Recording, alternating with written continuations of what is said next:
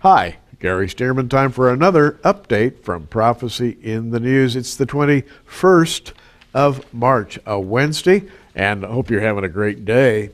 Uh, Bob Ulrich is in studio with me again today. We're going to take up right where we left off yesterday, Bob, with our discussion of the seven archetypes of rapture in Scripture. Well, yesterday we covered Enoch, we covered Moses, and we covered Elijah. Mm-hmm. And of course, coming to the fourth one, most important of all, is Jesus That's right. as a type of our rapture one day.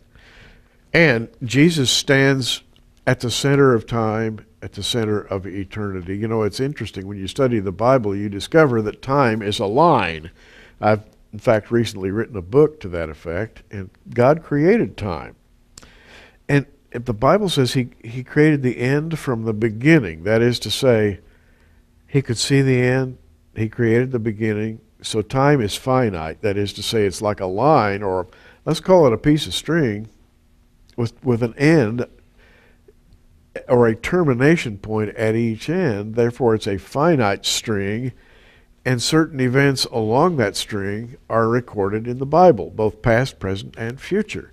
And right in the middle of the timeline is Jesus, the uh, the cross of Christ, which is the cure for the sin of this world. And if you haven't read that book, Time Travelers of the Bible, believe me, it'll make it'll stretch your brain.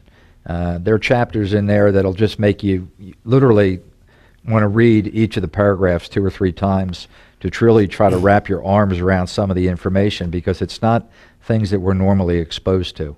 Uh, a lot of rave reviews, people who've read the book have just said, you know, this book has changed my life. I've never viewed the timeline of man quite like this before. So it's uh, it's quite a work, almost 600 pages. Well, it turned out to be a lot more pages than I thought. But I think that it has a lot to offer, and you don't have to read all 500 and uh, some odd pages. Oh, but they'll want to. It's really sitting. fascinating. Really fascinating. Uh, talking about time and talking about the resurrection. If you stretch out time, you go back to the beginning. The first type of the resurrection is Enoch.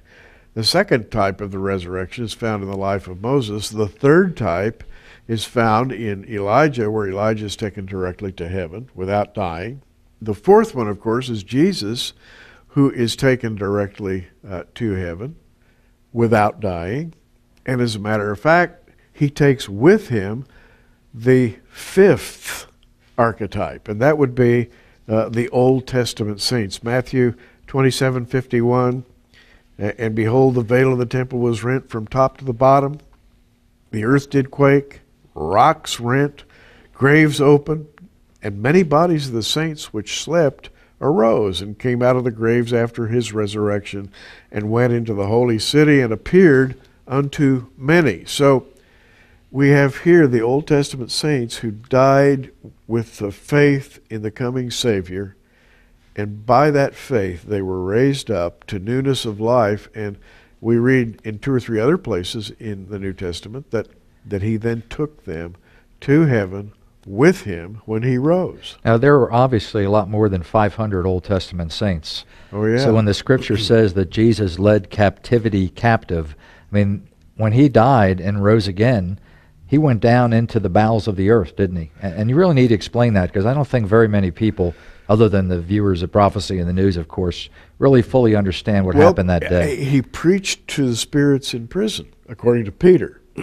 and those spirits in prison were there because of the sins they committed before the flood back in the old days. And they were the, the angels who left their first estate. And without going into a great dissertation on Sheol, Bob, those Old Testament saints were living in a place called paradise. And they were they were in Abraham's bosom. That's the New Testament idea there. And when Jesus rose, he emptied that place out and he took those Old Testament saints with him. I mean, understanding that concept, there were actually two compartments in the bowels of the earth paradise and Sheol. Right. uh, with a great gulf in between that no man could pass, I think is what the scripture says. And so he cleaned out part of it, took those Old Testament saints to heaven when he met when he went back to meet his father. And they were resurrected. In other words, uh, along with him, they experienced resurrection. So now we have uh, we have Enoch, we have Moses, we have Elijah, we have Jesus himself. Then the Old Testament saints, number five. Who's next? The number six is coming next. It's still future. That's us, the resurrection of the body of Christ, which is the church. You didn't call it the rapture, you called it the resurrection. I called it the resurrection. And you know, I've gotten uh, more and more in the habit of doing that lately because the rapture is kind of a preloaded term. Mm. When somebody hears the word rapture, they sort of, the hair on the back of their neck comes up and they say, well, wait a minute, what are you talking about? You mean pre trib? Are you one of those pre tribbers or are you a mid tribber, post tribber? What are you? Actually, I'm a believer in the resurrection. That's what I am, first and foremost. And I'm going to be resurrected one day. I'm going to be taken up and given a new body that's like his body, and I'll be with him throughout eternity. It's called the resurrection. The term rapture or catching away, I think, is a subterm. That is, it's a secondary term. The idea of being caught up is just part of the larger experience, which is the resurrection. Absolutely. How sad is it that the word pre trib has become a lightning rod now? Yeah. Uh, in the view of many in the church and many in the world, I've heard it as recently as just last Sunday. I, I visited a church and heard a pastor talk about these things as fiction. And the whole book of Revelation in his mind was just simply fiction. Wow. And you know, what is so bad about looking forward to the return of Christ, the first time in history since Pentecost where the bride of Christ is gathered all at the same time, all in one place. I mean, Resurrection Day, this is going to be a glorious, glorious day, not just for us, but for Jesus. And the fact that he has chosen to do it this way is remarkable to me. Uh, the Old Testament saints were taken at once, not individually. They were they collected in a particular place, awaiting Hmm. his resurrection, and then they went with him to heaven. Uh, the body of Christ in the New Testament is being uh, uh, is accumulating, if you will, in a particular place, and they too are awaiting a particular moment in history when they'll hear the sound of his voice, and then they, and then we who are alive and remain, all at once, all believers get resurrected. And What I want to use say? that term. What does it say? We're going to meet the Lord in the air, not down on the earth. Right. We're going to rise up to meet him in the air. And there's just a great misconception and just a lack of understanding about the difference between the rapture and the second coming. And just say one more word, and we're running out of time. Air. Air is air.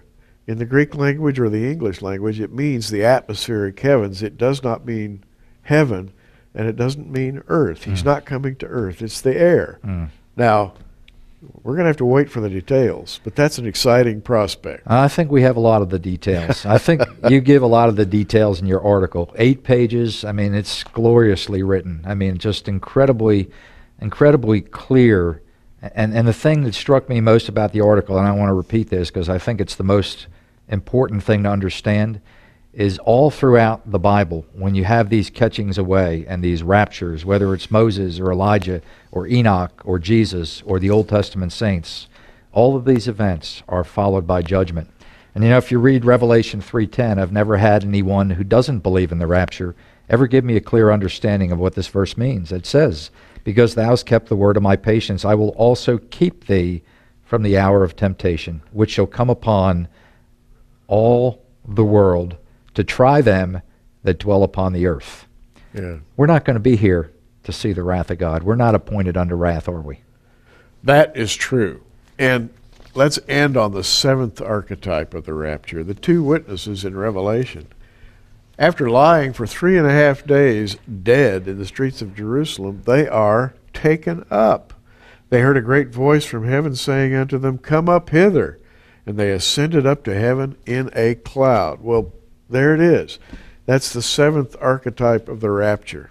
And Bob, it's the same from Enoch all the way to the two witnesses. All seven archetypes tell us the same story. Where have I heard that phrase before? Come up hither. We're going to hear that voice one day, aren't we? That's the voice we're going to hear. The sound of the trumpet. Absolutely. And By how were the they? way, And how were they taken up into heaven? I think that's important. The two witnesses in a cloud. in a cloud. we'll be taken up in a cloud. Jesus was taken up in a cloud. Elijah was taken up in a cloud. I, it, you know, it's uh, it's an amazing story. I hope you'll read it in the April edition of Prophecy in the News magazine, which is at, at this uh, juncture almost out right now. And uh, all you have to do to subscribe to it is just to call the number you see on that screen right there, and you can read the article. And hope you do. And you'll be helping us out here at Prophecy in the News to do some work that is yet unfinished. By the way, stay tuned for tomorrow's update because we're going to talk about a way that you can participate with us here in a great new undertaking. Hope to see you then. Gary Stearman, along with Bob Ulrich. Keep looking up, everybody.